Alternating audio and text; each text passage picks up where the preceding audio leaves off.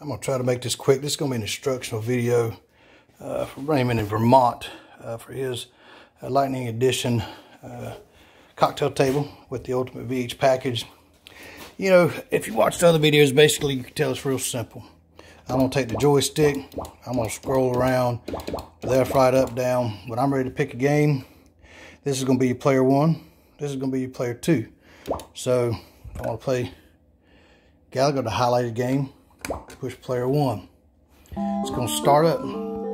At any time that I want to leave this, I press both player one and player two, and I'm out. Um, if I want to play two-player game, then I hit down player two.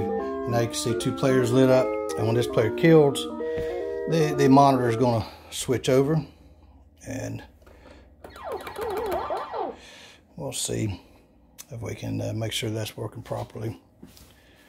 The red button's gonna always gonna be your go-to, whether it's jump or fire. The other buttons you just have to figure out on your own, whether it's dropping bombs or, or whatever it may be doing. So there we got killed. Let's see if it switches over to the other side.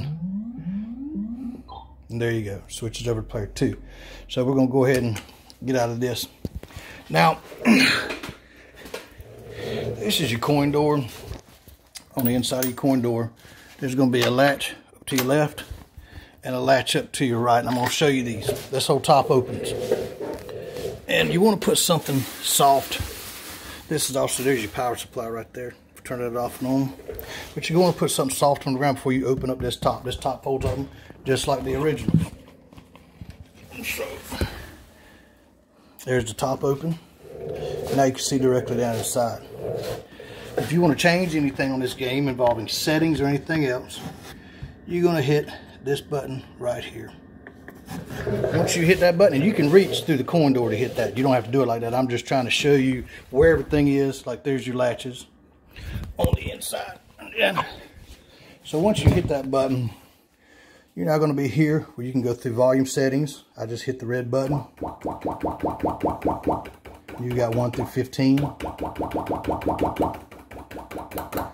I'm going to put it at about 6 for you.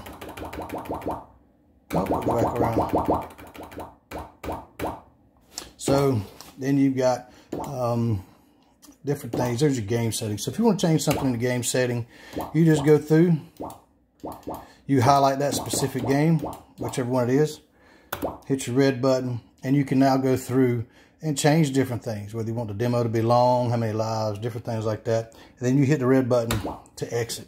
Any of these things you need to talk about, you can send me a text. I can send you a detailed text or, or make you another video if you're having problems with anything like that. So then you can also check your hardware. So now we're checking joysticks, player one, player two, checking our buttons. Same thing here. Making sure everything is wired up and working properly. Hit player one and player two. Then once you're done, I can actually, I can reach back inside the game just from the outside and push that button. And there I go, I'm back into the game. And that's really all you need to know. You got those latches, so then you just reach in. If you have to open it up, you just pull them down, lock them, and away you go. If you have any other questions, just give me a call, 843-450-0171.